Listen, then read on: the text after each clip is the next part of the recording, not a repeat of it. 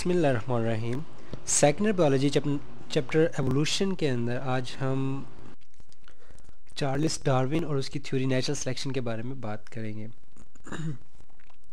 सो Charles Darwin जिसकी आपको शक, शक्ल भी नज़र आ रही है एक इंग्लैंड इंग्लिश साइंटिस्ट था। चार्ल्स डार्विन और ये एवोल्यूशनिस्ट था। एवोल्यूशनिस्ट मुराद नहीं एवोल्यूशन पे बिलीव करता था सही? सो so, 1809 के अंदर एक मतलब समंदरी सफ़र था जिसे वोएज ऑफ़ बीगल के नाम से जाना जाता है हिस्ट्री के अंदर। वोएज ऑफ़ बीगल ठीक है जिसकी आपको डायग्राम नज़र भी आ रही है साइड पे। So voyage voyage of Beagle यानी समंदरी सफ़र है बीगल जो कि एक शिप थी। ठीक है यानी बहरी जहाज़ था उसके ऊपर बहुत से साइंटिस्ट ने सफ़र किया था उसमें एक डार्विन भी था। और इसने जो है वो मतलब नेचर को स्टडी किया ही स्टडीड नेचर ठीक है, इसने नेचर के बारे में स्टडी किया। नेचर से क्या मराद है कि like flora and fauna flora है और fauna flora means all the plants of the जितने भी पौधे होते हैं ऑफ़ कह लें कि मतलब रीजन किसी भी इलाके का मतलब जो फ्लोरा होगा बेसिकली उसमें सारे प्लांट्स आ जाएँगे ठीक? फाना के अंदर ऑल द एनिमल्स आ जाएँगे। All the animals of a region see so उसने नेचर को स्टडी किया फ्लोरा और फाना की शेप के अंदर। मतलब उसने प्लांट्स के बारे में देखा उनकी रिजेंबलेंस डिस मतलब उन, उनमें क्या क्या मुशाबियत पाई जाती है कहाँ कहाँ कहाँ फ़र्क है तो उसने उसका जायज़ा लिया ठीक है? और उसने देखा कि कुछ ऐसे ऑर्गेनिज्म थे जो दूसरी जगह पे उसे मिले कुछ ऐसे थे जो मतलब दूसरी किस्म के थे। मतलब उसके अंदर उसने जायज़ा लिया कि कौन सी चीज़ें एक दूसरे से मिल रही हैं किन किन बिना पे मिल रही है किन किन बिना पे नहीं। मतलब सिमिलरिटीज़ और डिफरेंसेस उसने स्टडी किए थे, ठीक है? यानी किसके अगेंस्ट जियोग्राफिकल डिस्ट्रीब्यूशन ठीक है? मतलब geographical distribution of flora and fauna और उसके बाद उसने देखा कि बहुत से मतलब ऑर्गेनिज्म जो से वो आपस में मैच करते हैं मतलब मिलते हैं। और उससे उसने ये मतलब उसने हाइपोथेसिस डेवलप किया, यानी ये उसने मफरूज़ा बनाया कि लाइक अगर ये आपस में मिलते हैं तो इनके ज़ाहिर बात है जो इंसेस्टर होगा वो भी कोई कामन होगा। मतलब एक ही ऑर्गेनिज्म होगा जिनके जिसमें अडाप्टेशन हुई, उस माहौल के मुताबिक वो दो में मतलब मुख्तलिफ़ स्पीशी के अंदर वो कन्वर्ट हो गए। इस जोग्राफिल जियोग्राफिकल डिस्ट्रीब्यूशन की एक, कह लें कि एग्ज़ाम्पल इस तरह है कि लाइक जब डार्विन स्टडी कर रहा था तो बहुत से ऑर्गेनिजम्स ऐसे उसे मिले कि जो सिर्फ़ जो से हैं वो एक गैलापगोस आइलैंड ठीक है गैलापगोस आइलैंड्स यानी ये बहरे ओकियानूस के अंदर, ठीक है मतलब कुछ जजीरे हैं जिसका नाम गैलापगोस आइलैंड्स हैं, ठीक है मतलब बहरे ओकियानूस से क्या मरा था कि अमेरिका और जो यूरोप है उसके दरमियान जो बहर मतलब समंदर है उसके बारे में। तो उसमें बहुत से आइलैंड्स थे तो उसके अंदर उसने स्टडी किया कि, लाइक जो ऑर्गेनिजम्स इसके अंदर पाए जा रहे थे गैलापगोस आइलैंड्स के अंदर, वो कहीं और नहीं थे, ठीक है, यानी उसका जो फाना था वाज वेरी डिफरेंट ठीक है, उसने देखा कि ये बहुत ज़्यादा डिफरेंट है। लेकिन एक सिमिलरिटी थी कि उसने सिमिलैरिटी किसके दरमियान देखी कि जो साउथ अमेरिकन थे मतलब जो ऑर्गेनिज्म साउथ अमेरिका साउथ से क्या मतलब जो जनूबी अमेरिका में, ठीक है, यानी साउथ अमेरिकन फाना के साथ। फाना से क्या मतलब वही ऑर्गेनिज्म उसने साउथ अमेरिका के अंदर देखे थे। मतलब सिमिलरिटीज थी इन दोनों के दरमियान। सही कि जो गैलापागोस आइलैंड्स में फाना था, वो साउथ अमेरिकन फाना से मैच करता था, सही? तो उसने वहाँ से फिर एक और हाइपोथेसिस डेवलप किया कि लाइक जो ऑर्गेनिजम्स हैं मतलब जो जानदार हैं, जो साउथ अमेरिकन साउथ अमेरिकन से जनूबी अमेरिका में मौजूद थे, वो जो से हैं, वहाँ से स्ट्रेट स्ट्रेट से मतलब वहाँ से वो भटक गए और वो गैलापागोस आइलैंड्स पे आए और वहाँ पे वो मतलब उस माहौल के मुताबिक उन्होंने अपने आप को ढाल लिया मतलब उसके अंदर तब्दीलियाँ आ गई।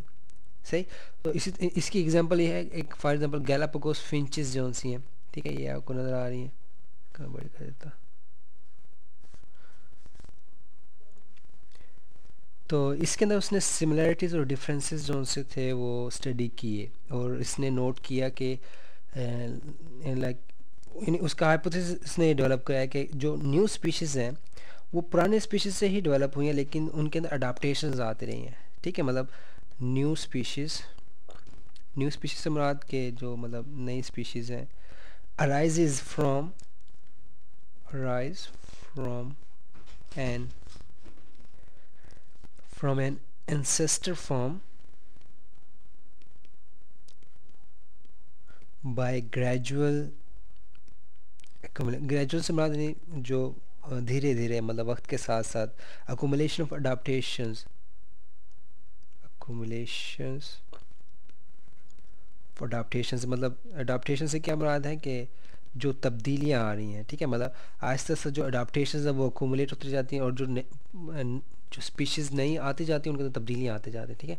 मतलब फॉर एग्जांपल जो गैलापागोस के अंदर उसने फिंचेस देखी, वो नॉर्थ अमेरिकन मतलब उनका कह लें कि उसे अनाटमी मिली मतलब वो उनसे मैच कर रही थी। फिर उसके बाद जब वो वहाँ से माइग्रेट होकर गैलापागोस आइलैंड्स में आई मुख्तफ आइलैंड्स में मुख्तफ इन्वायरमेंट था तो उसके मुताबिक उन्होंने अपने आप को ढाल लिया और उनके अंदर काफ़ी अडाप्टेशन आई। सही? सो so, ये उसने मतलब ऑब्ज़र्व किया और उसके बाद उसने कहा कि यार इसमें कोई ना कोई नेचुरल सिलेक्शन है लाइक कि जो फिंचेस उसने गैलापागोस आइलैंड्स में देखी वो कहीं और नहीं पाई जा रही थी। क्योंकि वहाँ पे का जो इन्वायरमेंट था उसके मुताबिक वो फिंचेस अडाप्टेड थी। अडाप्टेड से मतलब उनके अंदर तब्दीलियाँ थी। सही? सो इसको देखते हुए उसने फिर यानी जब वो वापस आया तकरीबन 1936 के अंदर अप, अपने सफ़र बहरी सफ़र के बाद उसने फिर इसके ऊपर काम करना शुरू कर दिया। सही? और 1840 के अंदर उसने मतलब थ्योरी ऑफ़ नेचुरल सिलेक्शन जो सा था वो प्रेजेंट की। सही और मतलब इन 1840 के अंदर उसने थ्योरी ऑफ़ नेचुरल सिलेक्शन बल्कि काम हो रहा था इस पर भी। नेचुरल सिलेक्शन पे उसने मतलब काम स्टार्ट किया, ठीक? और फिर 1844 के अंदर उसने एक बड़ा लंबा सा ऐसे लिखा था ओरिजिनल स्पीशीज़ के ऊपर, ठीक है? ये आपको साइड पे बुक में नज़र आ रही है चार ओरिजिनल स्पीशीज़ और फिर उसे जब वो पब्लिश करने जा रहा था, ठीक है 1844 के अंदर, उसी टाइम एक और साइंटिस्ट था वेलस ठीक है मतलब वेलस एल्फ्रेड वेलस से सा था मतलब इन 1844 Alfred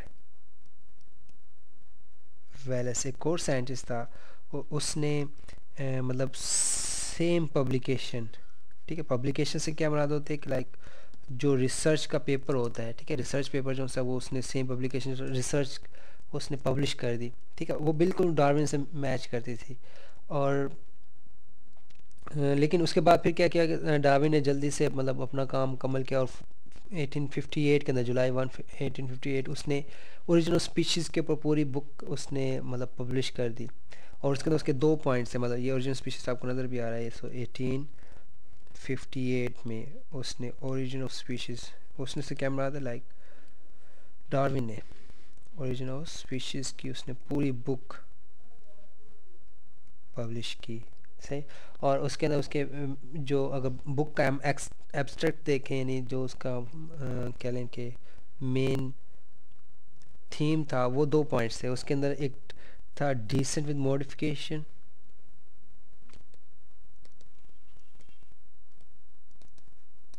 descent with modification descent with modification से क्या मुराद है कि लाइक डिसेंट से मुराद होता है नेक्स्ट जनरेशन का आना, ठीक है? यानी जो जो नई नस्ल आती रहती है। सही? और मॉडिफिकेशन मुराद उसके अंदर तब्दीलियाँ। सही? कि मतलब नई नस्ल के अंदर आहिस्ता आहिस्ता तब्दीलियाँ आती रहती हैं और इस नई नस्ल में जो तब्दीलियाँ पैदा करने का ज़िम्मेदार होता है मतलब जो बीच में मेन रोल प्ले कर रहा होता है, वो उसका इन्वायरमेंट यानी माहौल होता है। ठीक है, जिस तरह अब उसने स्टडी किया था उसके बारे में। गैलापागोस आइलैंड्स में जो उसने फ्लोरा और फाना स्टडी किया, उसमें उसने यही प्रेडिक्ट किया था लाइक कि इन सब का इंसेस्टर सेम है, लेकिन जब ये माइग्रेट होकर अपना मतलब इन्वायरमेंट को चेंज करके इधर आए तो इनके अंदर मुख्तु अडाप्टेशन आ गई और इस इन्वायरमेंट के अंदर वो मतलब उनके अंदर अडाप्टेशन आ गई सबसे पहला पॉइंट ये था उसका मतलब डिसेंट विद मॉडिफिकेशन दूसरा उसका पॉइंट था नेचुरल सिलेक्शन का, जो कि मतलब काफ़ी डिफरेंट था। नेचुरल सिलेक्शन ठीक है कि मतलब अब जो तब्दीलियाँ आई हैं मतलब जो भी चेंजेस आई हैं, उसको नेचर के पास पावर है। ठीक है nature has authority authority to select और डी सेलेक्ट दैम ठीक, कि मतलब जो भी तब्दीलियाँ आई हैं, अब ये नेचर डिसाइड करेगी कि ये तब्दीलियाँ जो सी हैं वो अच्छी हैं या बुरी हैं, ठीक है? फॉर एग्ज़ाम्पल अगर हम जराफे की एग्ज़ाम्पल लें, जिस तरह ला मार्क ने दिए थे कि लाइक जब ज़राफ़े जो से थे वो दरख्तों से पत्ता पत्ते खाते थे तो उनकी गर्दनें लंबी होती गई। तो एक्चुअली इस तरह नहीं था। डार्विन ने इसे इस तरह प्रेजेंट किया कि लाइक जराफे जो से थे, वो दोनों किस्म के थे। लाइक लंबी गर्दन वाले भी थे और छोटी गर्दन वाले भी थे। ठीक? मतलब ऑलरेडी उनके तो मॉडिफिकेशन मौजूद थी। लेकिन उसके बाद फिर क्या हुआ कि कोई नेचुरल डिज़ास्टर होता है कि नीचे से घास ख़त्म हो जाती है। तो लंबे गर्दन वाले जो ज़राफ़े हैं या जराफ़े वो ज़िंदा रहेंगे। सही मतलब वो दरख्तों से पता खा के गुजारा कर लेंगे, लेकिन जो छोटी गर्दन वाले हैं, यानी जिनका कह लें कि सर दरख्तों तक नहीं पहुँच पाता, वो आहिस्ता आहिस्ता ख़त्म हो जाएँगे, सही? तो उसके अंदर उसने नेचुरल सिलेक्शन का रोल डाला था, जबकि जो लॉ मार्क था, उसने use and disuse of organ के बारे में बताया था। इसके डार्विन की जो नेचुरल सिलेक्शन की थ्योरी है, इसको हम मज़ीद मतलब कुछ पॉइंट्स में मतलब डिवाइड कर सकते हैं। एक तो है कि फॉर एग्ज़ाम्पल सबसे पहले होगा ऑर्गेनिज़म्स हैं फॉर एग्ज़ाम्पल जैसे जराफे हैं, ठीक है, उनकी ओवर प्रोडक्शन होती है। ठीक है ओवर प्रोडक्शन से क्या मराद है कि वो बढ़ना शुरू हो जाते हैं लाइक उनकी जो मतलब पॉपुलेशन है, वो इंक्रीज़ होना शुरू हो जाती है। ठीक है, उसे हम ओवर प्रोडक्शन कहेंगे। ओवर प्रोडक्शन के रिज़ल्ट में क्या होगा कि मतलब जो उनके दिमाग सर्वाइवल है, उनके अंदर कंपटीशन स्टार्ट हो जाएगा। यानी कंपटीशन फॉर सर्वाइवल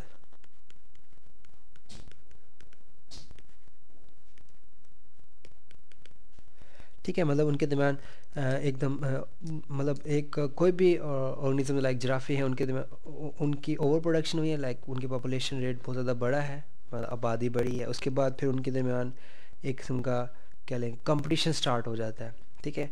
और सारों की कोशिश होती है कि वो ज़िंदा रह सकें उसे हम कंपटीशन फॉर सर्वाइवल कहेंगे। फिर उसके बाद नेचर के पास ही ऑप्शन होगा, ठीक है? In the last nature is the authentic ये कह लें कि नेचर के पास अथॉरिटी होगी जो उसे सेलेक्ट करेगी। लास्ट में उसकी नेचुरल सिलेक्शन होगी। ठीक है? और नेचर सिलेक्शन किस पे डिपेंड करेगी? डिपेंड्स ऑन अडाप्टेशंस ठीक है मतलब उस ऑर्गेनिजम्स में मतलब जो अडाप्टेड होंगे नेचर के मुताबिक वो उसको सिलेक्ट करेगी जो मतलब उसमें मतलब क्राइटेरिया में पूरे नहीं होंगे, वो खुद ब खुद नीचे बैठ जाएँगे वो सब साइड्स हो जाएँगे उनकी स्पीशीज जो इन डेंजर होंगी इन डेंजर के बाद एक्सटेंट हो जाएगी। सही? सो so, मतलब इस तरह फिर नई स्पीशीज़ जो से इवाल्व होती हैं। सो so, ये तो थी डार्विन की थ्योरी जो कि काफ़ी मतलब इसके एविडेंसेस बहुत स्ट्रॉन्ग थे और ये आज भी इस पे बिलीव किया जाता है ठीक है? एवोल्यूशनिस्ट जितने भी साइंटिस्ट हैं वो डार्विन को as a father of evolution count करते हैं ठीक है? उनका काफ़ी रोल था ज़ाहिर सी बात है उसने फ़र्स्ट टाइम एक्सपेरिमेंटल एविडेंसेस देखकर इस चीज़ को प्रूव किया था। काफ़ी रिसर्च वर्क था, ठीक? और यही पैटर्न जो उनसे है, अब हम जो मॉडर्न डेज़ में अप्लाई करते हैं मतलब डार्विनिज़म इन न्यू से बना था मॉडर्न, ठीक है? मतलब डार्विनिज़म जो मॉडर्न टेक्निक्स या मॉडर्न वे में या टू डेज़ साइंसिस के हम जो यूज़ कर रहे होते हैं, उनके डार्विन के अप्रोच उसे हम न्यू डार्विनिज़म कहते हैं। सही? सो न्यू डार्विनिज्म कह लें कि मेंडेलियन जेनेटिक्स को जब हम, ठीक है? मतलब मेंडेलियन जेनेटिक्स सही जिसके अंदर सारी चीज़ें आती हैं मतलब जीन फ्लो है जीन लिंकेज है, ठीक है? इसके अलावा जेनेटिक वेरिएशंस हैं, ठीक है? और फिर उसके पॉपुलेशन जेनेटिक्स हैं मतलब सारी जेनेटिक्स मेंडेलियन जेनेटिक्स से इसको जब हम डार्विनिज़म के साथ मिक्स करते हैं, ठीक है? तो हमारे पास न्यू डार्विनिज़म बनती है। ठीक है like it is new Darwinism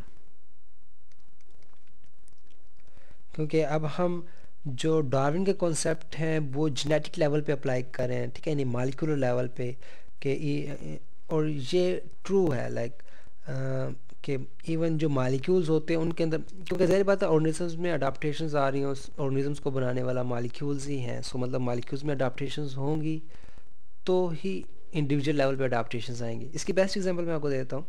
For example there are type of organism ठीक है मतलब एक ए टाइप पर्सन हैं, ठीक है, एक बी टाइप पर्सन हैं एक पॉपुलेशन के अंदर।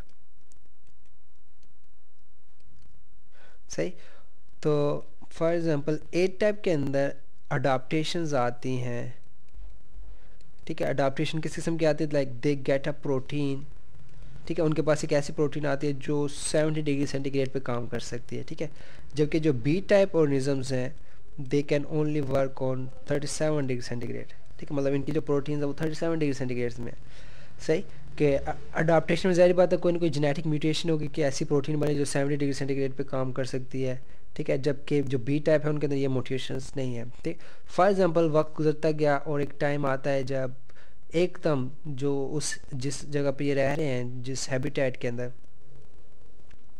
इनका एक हैबिटेट होगा उसका टेम्परेचर जो है वो एक्सीड कर जाता है मतलब सिक्सटी डिग्री सेंटीग्रेड पे ठीक है? एकदम हैबिटेट का जो टेम्परेचर है वो सिक्सटी डिग्री सेंटीग्रेड पे चला जाएगा सही? सो so, इसमें जो बी टाइप मालिक बी टाइप ऑर्गेनिजम्स होंगे वो डेड हो जाएँगे ठीक है? बी टाइप ऑर्गेनिज्म सारे डेड हो जाएँगे ए टाइप जो है वो सर्वाइव करेंगे।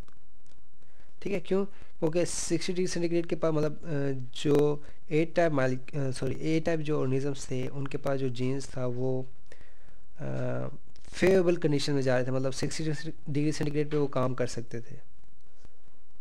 जबकि जो बी टाइप ऑर्गेनिजम्स थे, उनके पास वो जीन नहीं था, जो सेवेंटी डिग्री सेंटीग्रेड पर मतलब ऐसी प्रोटीन बना सके, जो सेवेंटी डिग्री सेंटीग्रेड पर काम कर सके सो वो डेड हो गए।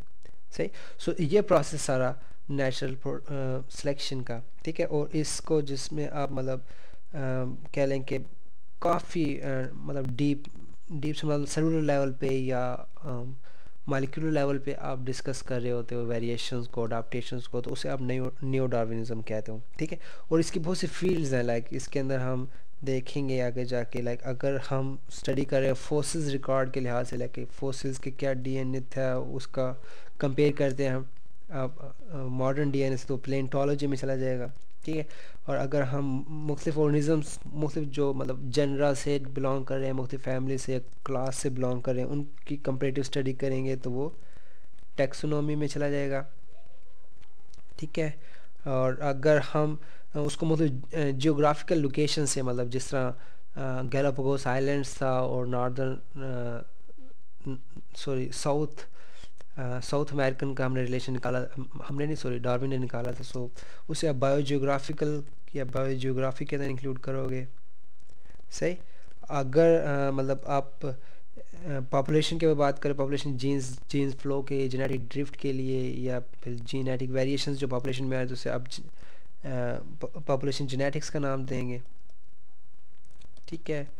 पॉपुलेशन जेनेटिक्स और अगर इस तरह आप एम्ब्रियो के ऊपर स्टडी करो लाइक रिलेटिव एम्ब्रियोज को आप स्टडी करते हो कि उनकी मुख्तु स्टेजेस किस किस्म की हैं, कहाँ पे डिफ्रेंसीशन हो रही है, किस तरह से कौन सा ऑर्गन डेवलप हो रहा है, ठीक है? डेवलपमेंटल स्टेजेस को आप स्टडी करते हो तो उससे आप मतलब एम्ब्रियोलॉजी को या कंपेरेटिव एम्ब्रियोलॉजी कह दोगे।